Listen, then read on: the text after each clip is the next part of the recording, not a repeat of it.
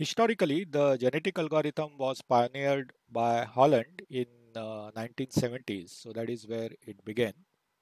It got more popular in late, late 1980s, where more and more uh, applications in wide uh, domains of engineering were found out. It is based on the ideas from Darwinian evolution theory. It can be used to solve variety of problems that are not easy, easy to solve using the other techniques. And here, since we are talking of evolution, that is the survival of the fittest, which is the core at the core of the Darwinian evolution theory. So at every generation, every new generation has got better fitness. So that is how the biological evolution uh, takes place. So as you move towards uh, future generations, you increase the fitness of that generation or the process increases the fitness of that generation. So this is similar to maximization of objective. So typically the uh, genetic algorithms treat the problems as that of maximization. So if your problem is that of minimization, we have already known uh, seen that by applying the negative sign, you can convert your minimization problem into that of maximization. There are some other methods which we'll see as you move ahead to convert a minimization problem into that of a maximization problem. Okay, let's see the parallel between the genetic algorithm and the optimization process. So if you see the evolution in the real world, it happens from a collection of species. So the evolution is always for a species. So you start with uh, different uh, living organisms in a particular species. Let's take humans. So each of the human being has got an identical uh, set of chromosomes within them and each individual will have some variation of these chromosomes across them. That is what makes them different. So each of the species can be paralleled in the optimization sense to that of an individual solution. So for a given problem when you start with different solutions that is a different set of uh, design vectors each of these solutions represents a single individual in a population of animal world or a human world. And the chromosomes, which are the sequence of uh, certain sequence of DNA, it represents the sequence of the design variables that that particular uh, solution has. So that is the so chromosomes can be connected to the design vector which every uh, solution has. So the living thing or the species is parallel to that of a particular solution. So when you have multiple solutions to begin with, you have multiple species or living things to begin with. How the evolution occurs is through the pro process of reproduction, which essentially means that these species, they interchange their chromosome matter or uh, through this process, a recombination gives rise to certain transfer of genes from parents to that of the offsprings. So this recombination that is certain features of one species get mixed with another set of features of another individual that is within a species you have two individuals certain features of individual A will get mixed with the other set of features of individual B that is known as the recombination and also biologically there is a process of mutation or there is uh, when this recombination is taking place some places it is not mathematically exact some errors or some mutations takes place because of which the sequence is randomly changed. So you uh, encounter uh, within your species an individual which has got a very unique set of uh, genes uh, and that happens out of mutation and this happens for very small numbers. If it happens for very large number, it may lead to chaos, but it happens to a very small numbers and that is how the species as such survive together.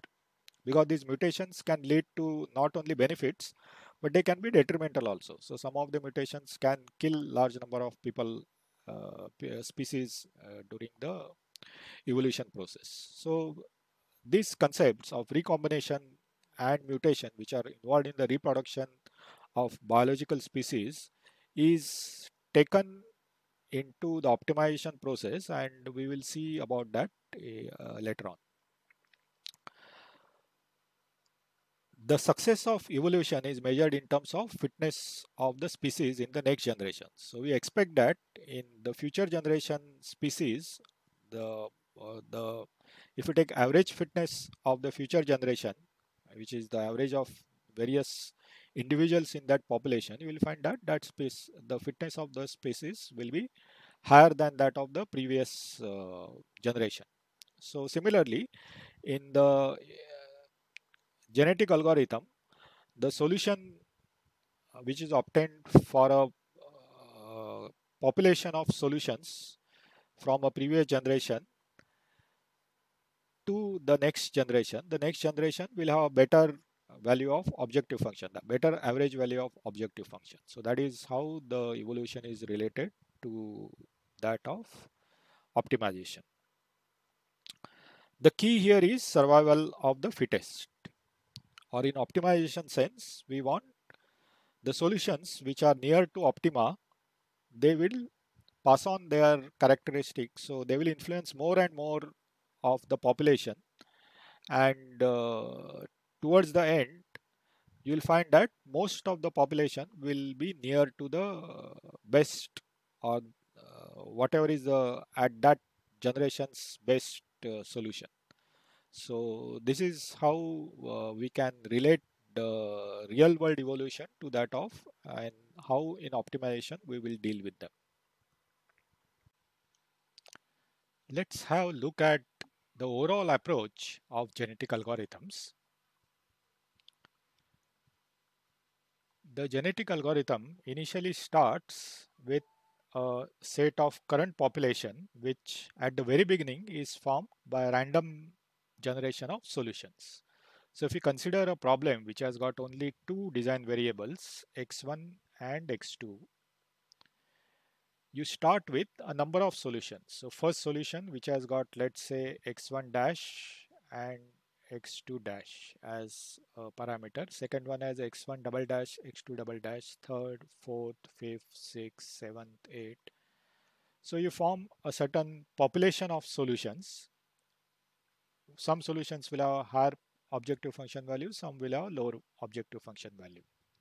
Now in order to form the new generation, the next process is to select the mating pool or the select those uh, individuals or those individual solutions which has got a better value of objective function. So in the terms of biological uh, analogy, we can say that those solutions which are near to the objective or having higher objective function are said to have higher fitness value. So we'll consider that uh, the fitness as equivalent to that of the uh, value of objective function. So the parents which are fit are the solutions which are having higher uh, fitness value, higher uh, objective function values. Those are formed into a pool, a mating pool through a process what is known as selection process. And in the selection process, each of the solution is tested, bad solutions are removed and good solutions are uh, transferred to become parents for the next generation.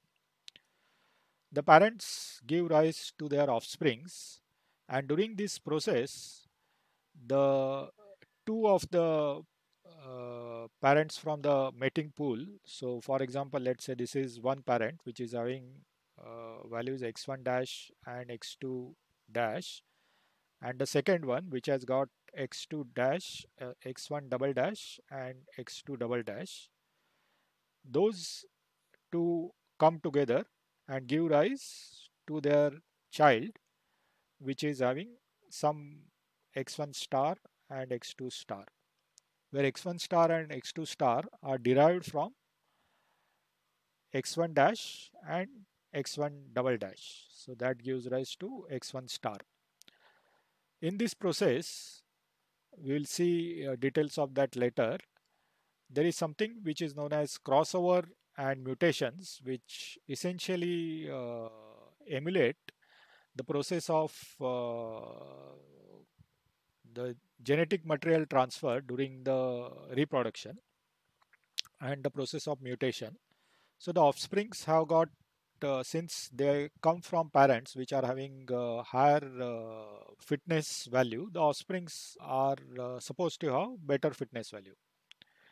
And through this process, the next generation offsprings are uh, probability of them having a better fitness increases and this becomes the new population and this uh, completes one generation cycle. And this cycle keeps on repeating and every generation will get better and better offsprings because they are derived from better and better parents. Through the process of selection and through the process of crossover and mutation you get to have a diversity in your population so that the same parents don't continue but their uh, genetic material or their solution components they keep on exchanging with each other and uh, that is why you can uh, cover a lot of uh, domain of your solution. In order to make the process of uh, recombination and formation of offspring more uh, amenable or similar to that of biological process, each of the solution is converted into its binary string representation. So generally there is a encoding which takes place where each of the solution that is your x1 value, x2 value. So x1 may be 1.12 and x2 may be 3.46. So these numbers they themselves are not used but they are converted into their equivalent binary string. So each of the binary uh, string represents uh, integer number. So if you have to convert into decimals, you will have to decide how many decimal uh, places you want. So for example, if you want 1.12 to be represented up to two decimals, you have to multiply it by 100 to make it 112 and take the binary representation of 112, operate on that binary string and when you want to go back, you convert the binary string into its integer and divide by 100. So that is how the solution works out. So once you get this uh, binary string and these strings can be obtained in Python implementation by using the bin function which is uh, available in the Python which converts an integer to a binary string. So beforehand, before you start dealing with the problem, you have to decide for storage of these uh, variables, how much uh, width of this binary string you require. So that width is given by the equation as shown here where the q represents the length of the binary string that is required. X upper and x lower are the limits of your variable. So for example, if your uh, variable x1 is between 0 to 5, then your x upper becomes 5, x lower becomes 0 the delta x represents the desired number of decimals, but that is represented in terms of, for example, if you want two decimals, it becomes 0.01. So for example, if you want to store x1 value, which is between 0 to 5, and you want to store two decimal places, that is you want from 0.00 to 5.00. So in that case, the number of uh, bits that you require or size of bits required to store that is given by q so you have 2 raised to q equal to 5 minus 0 by this formula divided by 0.01 plus 1. So this is 501. So if you take log of both sides, you can find out the value of q and it will come something like 8.96. So that means in order to handle the problem x1 line between 0 to 5 with 2 decimal accuracy, you require a 9 bit uh, string, binary string you will require. So that you have to decide beforehand how much accuracy you will require and accordingly you create space for strings and all strings are of equal lengths. So that is how this particular uh, each of the solution um, variable you have to store in terms of a binary string so that the process of combination becomes simple. So we'll come to that uh, immediately next.